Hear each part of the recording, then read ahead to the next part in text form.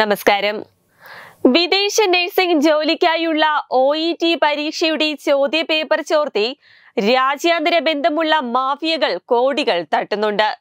കൊല്ലത്ത് നിന്ന് ആറു വയസ്സുകാരിയെ തട്ടിക്കൊണ്ടുപോയ കേസിൽ അന്വേഷണത്തിനിടയിലാണ് ഈ തട്ടിപ്പിലേക്ക് വെളിച്ചം വീശുന്നത്.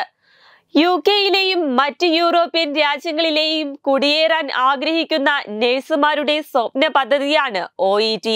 ഒരൊറ്റ ചോദ്യ പേപ്പറിലാണ് ലോകമെമ്പാടും ഒ ഇ ടി പരീക്ഷ നടത്തുന്നത്. പല രാജ്യത്തും പല സമയത്ത് പരീക്ഷ നടത്തുന്നുവെന്നതിലെ പഴുതു മുതലെടുത്താണ് തട്ടിപ്പ് നടത്തുന്നത്. ന്യൂസിലാൻഡിൽ പരീക്ഷ നടന്ന് പന്ത്രണ്ട് മണിക്കൂർ കഴിഞ്ഞും ഗൾഫിൽ പരീക്ഷ കഴിഞ്ഞ് മൂന്ന് മണിക്കൂർ കഴിഞ്ഞുമാണ് കേരളത്തിൽ പരീക്ഷ നടക്കുന്നത്. അതിനാൽ തന്നെ അവിടുത്തെ ചോദ്യ പേപ്പർ ചോർത്തുകയാണ് തട്ടിപ്പ് സംഘം ആദ്യം ചെയ്യുന്നത്.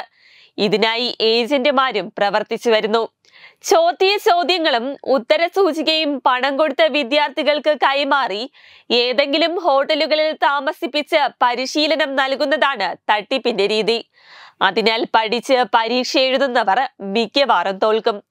കാരണം ഓരോ പരീക്ഷയിലും ഇത്ര ശതമാനം വിദ്യാർത്ഥികളെ മാത്രമാണ് വിജയിപ്പിക്കുന്നത്. അതേസമയം ഒരു തവണ പരീക്ഷ എഴുതാൻ മാത്രം കേരളത്തിൽ മുപ്പതിനായിരത്തിന് മുകളിലാണ് ഫീസ് ഈടാക്കുന്നത്. കൂടാതെ നിരവധി തവണ പരീക്ഷ എഴുതുമ്പോഴാണ് പലരും വിജയിക്കുന്നത് തന്നെ. ഇതാണ് തട്ടിപ്പ് സംഘത്തിന്റെ തുറുപ്പ് ചീട്ട്. പരീക്ഷ എഴുതുവാനുള്ള ചെലവും സമയനഷ്ടവും കണക്കിലെടുക്കുമ്പോൾ നഴ്സുമാർ ഇത്തരം തട്ടിപ്പ് സംഘങ്ങളുടെ വലയിൽ വീഴുകയാണ് പതിവെന്ന് യു നേതാവ് ജാസ്മിൻ ഷാ പറയുന്നു. മൂന്ന് മുതൽ നാല് ലക്ഷം വരെയാണ് ഇത്തരം സംഘങ്ങൾ ഒരു നഴ്സിന്റെ കയ്യിൽ നിന്നും വാങ്ങുന്നത് തന്നെ.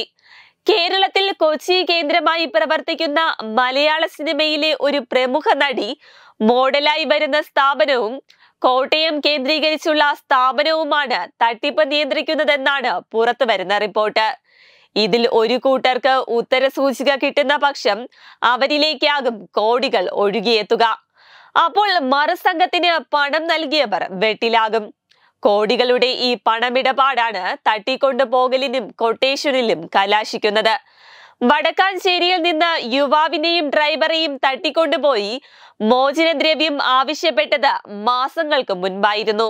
തൃശൂരിലെ അറേബ്യൻ ട്രെയിനിംഗ് ഇൻസ്റ്റിറ്റ്യൂട്ട് ഉടമ ഗണേഷ് ജയകുമാർ ഡ്രൈവർ ലിബിൻ എന്നിവരെയാണ് അന്ന് തട്ടിക്കൊണ്ടുപോയത് ഒ ഇ ടി ചോദ്യ പേപ്പർ ചോർത്തി കൊടുക്കാമെന്ന് പറഞ്ഞ് പത്താഴക്കുണ്ടിലുള്ള റിസോർട്ടിൽ വച്ച് മൂന്ന് കോടി ആവശ്യപ്പെട്ട സംഭവവും പിന്നീട് തട്ടിക്കൊണ്ടു പോകലിലാണ് കലാശിച്ചത്. സമാന രീതിയിൽ വാഗമണ്ണിലും യുവാവിനെ കൊട്ടേഷൻ സംഘം തട്ടിക്കൊണ്ടുപോയിരുന്നു ഇത് തന്നെയാണ് കൊല്ലത്തെ തട്ടിക്കൊണ്ടുപോകലിന് പിന്നിലെന്ന് സ്ഥിരീകരണമില്ലെങ്കിലും സാധ്യതകൾ അന്വേഷിക്കുകയാണ്. വെബ് ഡെസ്ക് തത്തുമൈ news Diganda Resort, Ahmedabad, Gujarat.